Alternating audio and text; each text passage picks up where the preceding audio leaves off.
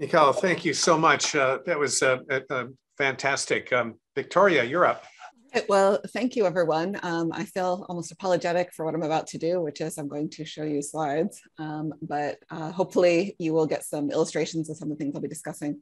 Um, so can you see a screen that looks like a big black slide? Yes. Yes. Okay, great. Um, so thank you all. This has been really fascinating so far. I feel there's a lot of overlaps that are maybe not even expected by me in uh, seeing all of this. So I wanted to start out by just telling you a little a bit about the kind of work I do. So I am in art, history, and visual studies, and I focus on computational media and digital humanities. So on the one hand, it's thinking about how we use new technologies to transform the work that we do within the disciplines but then it's also studying the technology itself and um, how it operates and how it affects us. And uh, this question, the prompts we had were really interesting. So the how it started prompt for me was that I started out as a scholar of Victorian literature and culture.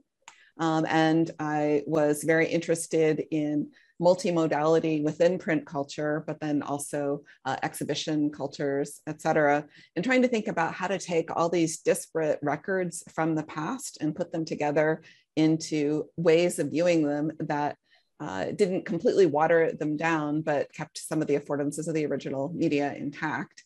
And so, say around 2009, I tried to do this with things like making a Google map overlay of this uh, historic exhibition, but then all at the same time having a team creating a 3D model, but then also using Second Life, which was cool then, as a place to try and create an interactive uh, display space where we took this complex assemblage of cultural artifacts that had been in this historic exhibition and then think about how to convey um, their importance.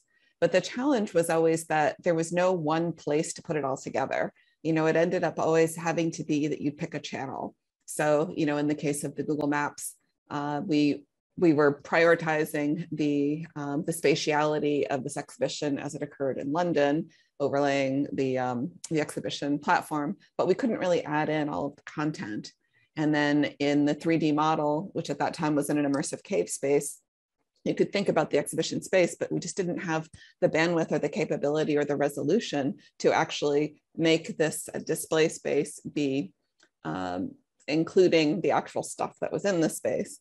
And then in the Second Life sort of environment, you know, it's the sort of bespoke space where we could create interactive pieces and have information about them, but you were creating in world all these little objects and artifacts, and you lost a lot of the uh, other types of information. So I had this dream, you know, the metamedium dream, where you would take all the different types of cult cultural artifacts and then put them onto a database and then remix them into this one wonder, wonderful, glorious assemblage that would be some sort of simulacrum of the experience. Instead, over the years, I've moved more towards projects that take various types of archival and historic media and think intentionally about what kinds of channels of representation and exhibition we want to use. This is a different project that was uh, started several years later, which was thinking about uh, taking a collection of historic recordings of folk music in North Carolina that were originally on wax cylinders and doing additional research into the singers of the songs. So rather than focusing only on the songs themselves, also working with students to think about, well, who did the singing and to go into various types of archives and spaces to put those all together so that people could get a fuller sense of what this collection was about. And so we've done various types of things like create uh, an online exhibition that included materials about some of the singers um, and uh, physical exhibitions um, that used typical museum types of ways of representation, as well as touch screens and performances. You know, so really trying to think about how all these different media types that are available to us help to bring the past into the present with a richer experience of the complexity of where things came from. So all of that is a sort of background to my main interest in the last several years, which has been in augmented reality and in the ways in which we can think about augmenting space. So I really appreciated Professor Kaza's comments just now about space and place and what those mean now with all of these data layers and information layers. And now adding to that, the idea of how we can uh, insert more of the, the presence of, of the past or interpretive layers or cultural layers into that experience in real time and uh, on location. So some of the types of work that we've done have been things like taking archival images of protesters on campus and put them into an augmented reality space so they can appear as these ghostly images that are representing different moments in time um, in which students felt themselves engaged with, with some sort of political process. But then thinking creatively, and this is where some of the aesthetic practices come in, about how to retain that sense of pastness here using black and white photos and making them into these sort of billboards into a virtual space, but that also has this affective potential of making you see that, in fact, this place that you're in now does have this long history of people being engaged in moments of, um, in this case, activism. And part of that is to counter some of the tendency I see amongst uh, people working in digital cultural heritage to be paying a lot of attention to the physical objects and the artifacts and not as much to the people themselves who were inhabiting those places. So how do you bring those two things together? Um, we've done projects that explore various uses of, I, I, just said, not only architectural, but also thinking about architectural history, for example, different uh, ways of looking at the history of uh, the Duke um, Chapel and making putting those into AR space. Um, but then taking some of that same kind of idea and going into other urban contexts and built environments. So these are images from a project that was about the history of the Jewish ghetto in Venice and trying to think about how all the different modalities we now have of, of archival discovery and representation and reinterpretation, you know, scanning, 3D reconstruction, um, GPS-based mapping, et cetera, can be brought into the space of being in the city. So this project was created as a, a complement to a museum exhibition that was happening um, in a major gallery in um, St. Mark's Square in Venice, but bringing it on site. And then this is the part where we start getting more into the AI potentials. Um, at the time, what we did was uh, we wanted to have immersive overlays on top of the experience of the space so that you could look around and see traces of the past architectures and get some sort of effective response to the ways that things used to be. Uh, at that time in 2016, we did that by making 360 images of the contemporary space, overlaying 3D models that we warped and stuck on top of the 360, and then had that uh, geolocated to a specific site. So you could look through your phone and you could see the space and have that sort of illusion of an overlay. So one of the dreams for us for a future of, of AI enabled and assisted um, city overlays is that we could have more of a one-to-one -one correspondence between 3D locations and, um, and our data overlays. And that's something that we're starting to see already in, in Google and, and other places. Um, I'm also interested in the question of physical exhibition um, and its documentation. I think this is something that um, some others are, are maybe interested in here as well. Um, and this is related to the question of digital art history. The, so the history of digital art history digitized, um, which is a topic that we discuss a lot in the ACM SIGGRAPH digital arts community, uh, where I'm the chair. And so uh, trying to think about uh, the ephemerality of digital media um, both because it's intended to be that way if it's performative or time-based, but also because the technologies themselves go away. So what are some of the challenges and opportunities we have to be able to do that kind of documentation and sharing? And we probably will hear more about this in a little bit um, from uh, Nancy McGovern. And uh, thinking about how past practices can help us to inform the work that we do today.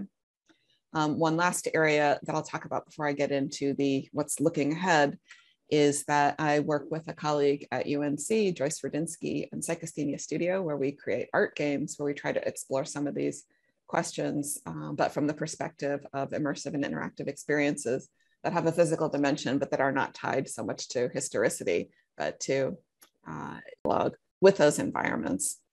And in some cases, what that means is places that are now almost um, completely denuded of initial structures, thinking critically and creatively, but also carefully about where and when and how we insert, um, in our case, augmented reality interventions. So this is the site of a, of a camp, uh, a death camp, a work camp.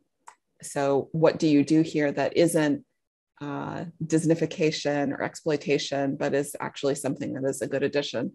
Or do you decide not to? And I think that, that that's one of the underlying questions that we're thinking about in the arts and humanities with all of these technologies. you know, just because you can doesn't mean you should. And maybe doing it is actually far worse than doing nothing at all. So, to that point, there's a few technologies that are emerging that I'm sure some of you have seen. Um, the first is an example of these holo- interactive holograms that were created a few years ago. The project's called New Dimensions in Testimony, and it was done in collaboration with uh, USC and the Shoah Foundation. And so they did these interviews with Holocaust survivors talking about their experiences and then made this sort of elaborate search engine that enables you to interact and speak to the hologram. Well, very recently, uh, many of us know uh, there we, it's been made much more possible to do things like animate historic photographs.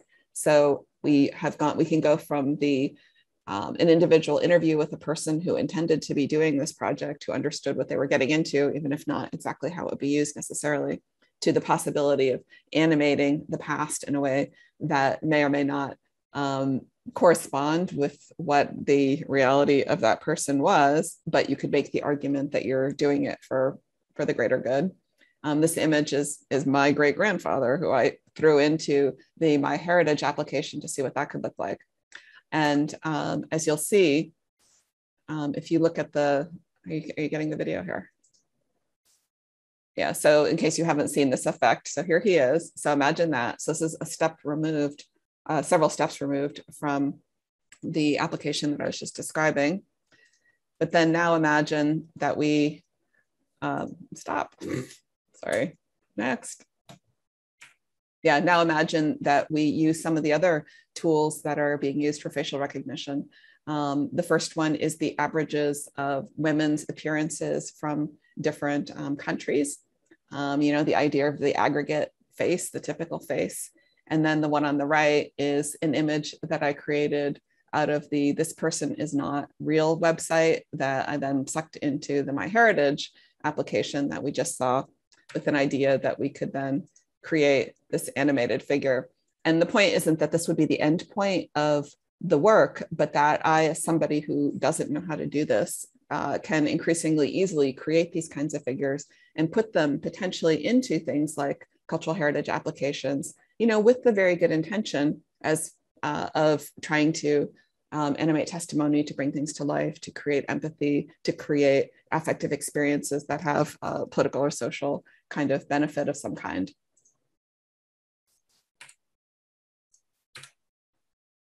And so then if I go back to something like the jukebox project that I talked about before, you can imagine things like animating one of the singers um, who was uh, uh, part of the project and taking some of his music, which you may or might not be able to hear. Let's see. Yeah. So we have this ghostly trace of his voice. Can we, should we, or shouldn't we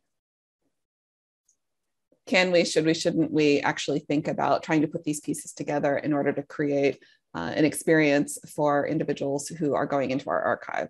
So there's a lot of moral and ethical questions that are going along with these kinds of projects. In the VR uh, world, and the extended reality world, we've tried to think about these in terms of creating productive unease, you know, having the simultaneous immersive effect and also having something that um, it keeps you at a distance from it. And I think that this area is going to be one that a lot of people in arts and humanities are really going to want to help to intervene in, even as we move forward with using these types of technologies. Thanks. Wow, um, uh, lots of food for thought. Thank you, uh, Victoria.